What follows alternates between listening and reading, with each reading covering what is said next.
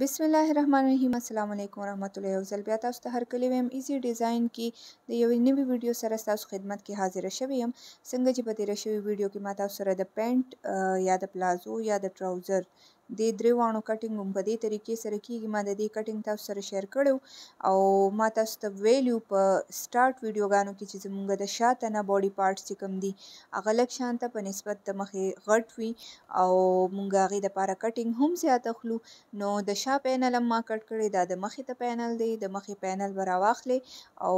تنه چې کومه ده او د هغې به داسې تاسو سټیچینګ وکړئ آسن به سټیچ کې دا زموږ آسن دی او دا د غټ والا تنه ده یعنی د شا تنه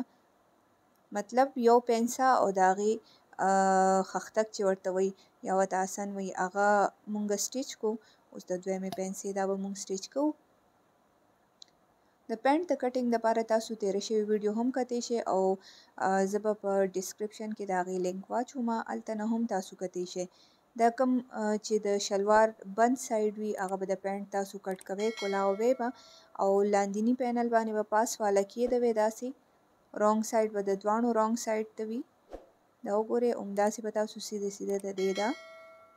سټیچنګ وکړئ دا به داسې وګنډئ پوره پینل به وګنډئ همدغه شان به د دې بل سایډ هم پوره پینل مونږ وګنډو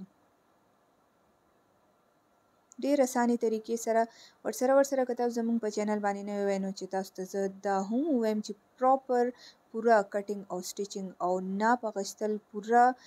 ویډیوز چې دی ما په دې باندې چینل باندې اپلوډ کړي دی هغه هم تاسو ګورئ دا ګورئ دا پینټ شو دا مخې ته لګ راوړېدلی وي او دا وجه وي چې زمونږ چې کوم پینټ دی هغه په خپل ځای باندې بیا وي او فټینګ یې ډیر زبردست راشي دا زمونږ پنسه ده او د پنسې به زه یو سټیچ داسې واخلم ځکه چې زه به کوم په دې کې تورپایي تورپایي د دې ډیره صفا راځي او دې پنسې ته ګم پان چوي دا دنه طرف ته په ګولایه کې ورماتیږي د دې کټینګ ما تاسو سره شیر کړی دی په تیر شوی ویډیو کې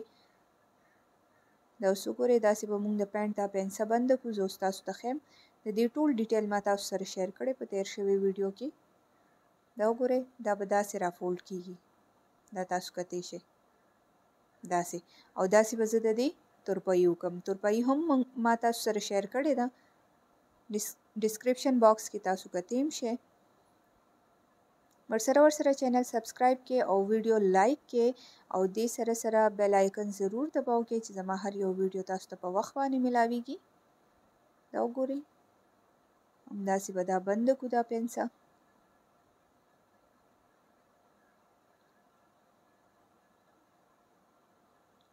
ډیر اسان او ډیر صفایي سره دا پینټ جوړیږي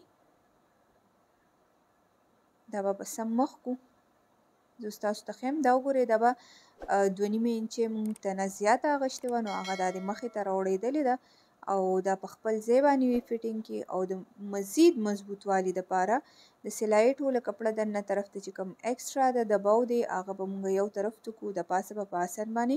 ګول ګول چار چاپېره داسې مونږ سلایي ولګوو دې سره زموږ سلايي هم مضبوطه شي او کوم چې پینل دی هغه ور سره دونه مضبوط شي چې کچرې دا تاسو وړو له جوړوي که غټو له جوړوي ناستې پاستې سره به تاسو بالکل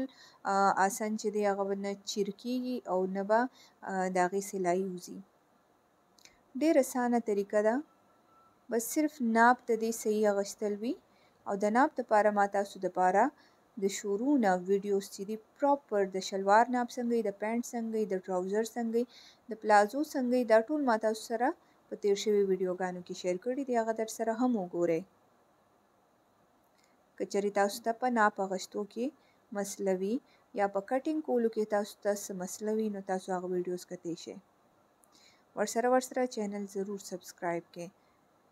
خپل قیمتی رای نه مونږ ضرور خبروی چی هغی مطابق زه تاسو دپاره ویډیوز راوړم زما به کوشش دا وی چی څونه اسانتیا سره دا کیږی دا وګورئ ما یو طرف ته ددی دا کپړه را فولډ کړه داسی به په منځ نه فولډ کوی یو طرف ته به غونډه فولډ کړی او بیا به تاسو ددی دپاسه وکی دا سلائی ډیر نیټ ډیر ښکلی ښکاری ده او ما ورسره ورسره د دې تورپایی چې کومه د پنسو کړې وه د هغې ویډیو ما تاسو سره شیر کړې تورپایی به څنګه په اسانې طریقې سره کوي لږ پریکټس سره دا ډیر اسان شي دا تاسو کتې شئ لږ مخې ته دا راوړېدلې دی دا پینټ او بیا د نیفې دپاره ما په کټینګ کې تاسو ته ویلي چې ما دوه انچه پانچه او دو انچ ما دلته کې نیفه پرېښې وه نو نېفه زمونږ به دلته دوه انچه را ماته کو او هغې باندې به سلائی وکو او بیا به پکې لاسټک واچو نو دا و زمونږ پینټ مالې اجازت راکې د الله په